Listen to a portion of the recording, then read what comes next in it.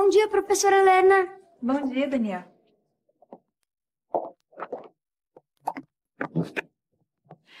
Vocês fizeram a tal assembleia para julgar a Maria Joaquina? Fizemos sim. E o que, que ficou decidido? Nós vamos dar um castigo de silêncio para Maria Joaquina. Você pode me explicar o que é o castigo do silêncio? Ninguém mais vai falar com a Maria Joaquina e se ela perguntar alguma coisa, ninguém vai responder. E você acha isso certo? É que todo mundo concordou em dar um castigo para ela. E a Maria Joaquina tem que aprender uma lição com as atitudes que ela faz com os outros. Daniel, você acha que cabe a vocês julgarem a atitude de uma coleguinha? Mas nós somos livres para escolher nossos colegas, não somos? Talvez. Mas pense que nessa situação está em jogo a dor de uma coleguinha condenada à solidão. Ninguém tem o direito de julgar ninguém, Daniel. Mas foi ela mesma que escolheu ficar sozinha quando rejeitou todo mundo da classe.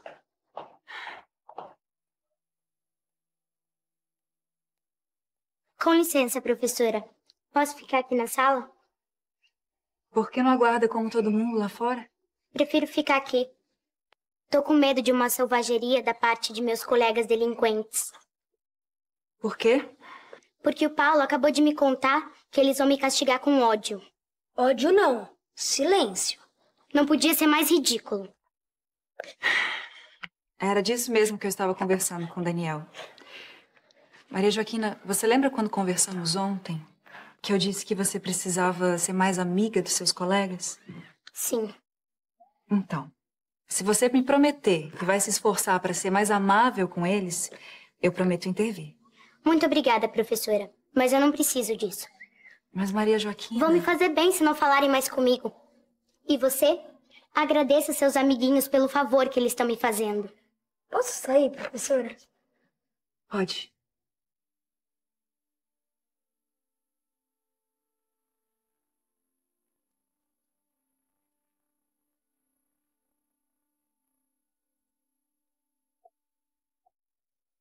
Maria Joaquina, você ainda é muito nova. Não sabe como uma pessoa sofre quando fica sem amigos, sem ter ninguém para conversar, nem dividir as coisas boas e nem tão boas da vida.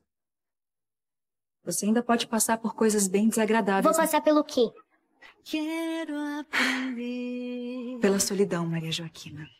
sua lição que faz tão bem pra mim. Agradecer. Professora, eu só vou me sentir sozinha se meus pais me deixarem. E se você também me deixar. O resto, eu nem ligo. Maria Joaquina. Castigo do ódio. Como se isso me fizesse sofrer. Maria Joaquina, você ouviu o que o Daniel disse. Não é castigo do ódio. Eles me odeiam, professora. Só porque meu pai é médico, porque nós temos um carro com motorista e moramos numa casa luxuosa. E também porque eu sou a menina mais inteligente da classe. Chega, Maria Joaquina. E também porque eu tenho dinheiro de sobra para tapar a boca de todos eles. Não humilhe os seus colegas falando de dinheiro. Eles gostam do seu pai, sim, mas não porque ele é médico, e sim porque ele é um bom homem. Mas, professora. Não seja arrogante, senão você vai ser desprezada a vida inteira. Nós temos que amar uns aos outros. Não se pode viver sozinho sem amor. Eles não fazem falta para mim. Eu não preciso do amor deles.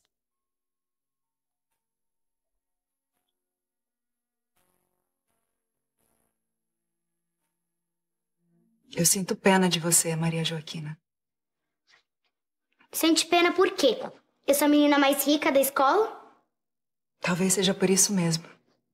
Agora vá lá fora esperar com os outros.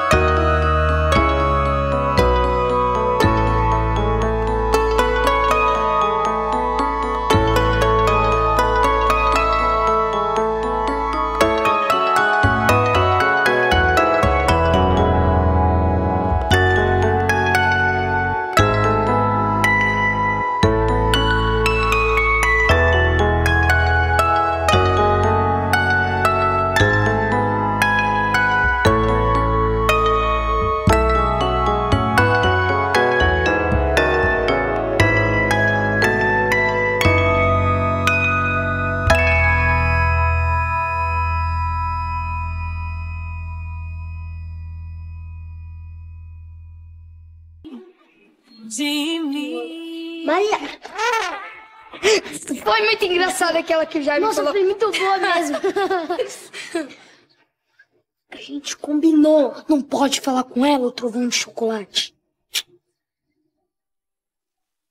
Mudar de escola? É, papai. Mas por quê? Porque meus colegas me odeiam.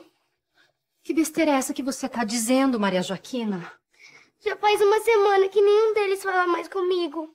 Qual o motivo deles não falarem com você, minha filha? Eu não sei, papai. Juro que eu não sei. Quando eu passo perto deles, eles olham para outro lado. Quando eu pergunto algo, eles saem assobiando cada um para um canto.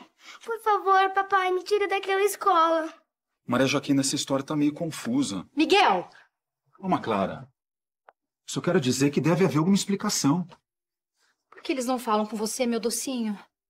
Eles se reuniram no clube dos meninos e resolveram me dar o castigo do silêncio.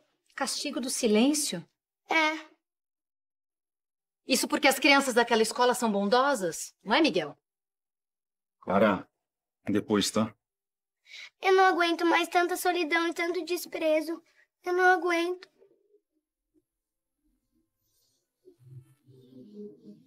Nada de ruim acontecer com você. Obrigada, mamãe. Eu te amo muito. Tá vendo, Miguel? O que foi que eu disse? Ter colocado a Maria Joaquina nessa escola foi um erro. Mas não, você não me escuta. Deu no que deu. Calma, Clara. Maria Joaquina, me diz uma coisa. Castigaram você sem mais nem menos? Ou você fez alguma coisa para dar motivo para eles?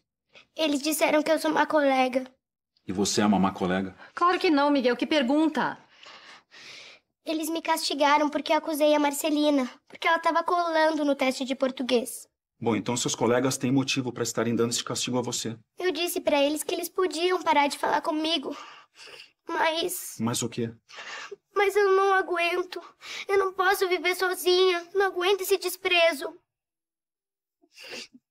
Papai, por favor. Eu quero voltar à minha escola antiga. Deixa eu sair dessa. Por favor, eu quero voltar a estudar com as minhas primas. Por favor, papai. Maria Joaquina, Ai, Vai, papai, deixa. você tem que mudar de atitude, não de escola. Se você não mudar o mais rápido possível, você vai conviver com essa solidão para onde você for. Não vai, não vai. Vai, vai sim, minha filha. Você tem que se sentir parte do grupo, conviver bem com seus colegas. Nós vamos juntos para a escola amanhã. Não vai adiantar você ir comigo.